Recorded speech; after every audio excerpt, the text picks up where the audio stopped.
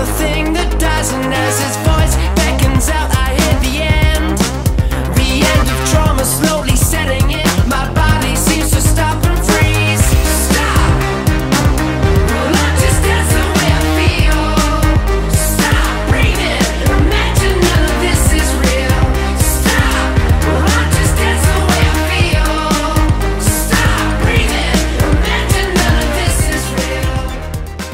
I'm Dean Wilson, principal of Roosevelt Junior High School in Roosevelt, Utah.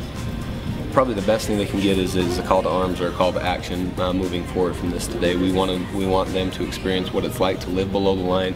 We want them to be able to, to understand that uh, by their efforts, um, awareness is the best thing that they can raise uh, on an issue like this. We're going to do some monetary fundraising, uh, but really if they go home and they understand that uh, you know one person can make a difference, they can be the change they want to see in the world. That's what we're trying to get the kids to understand.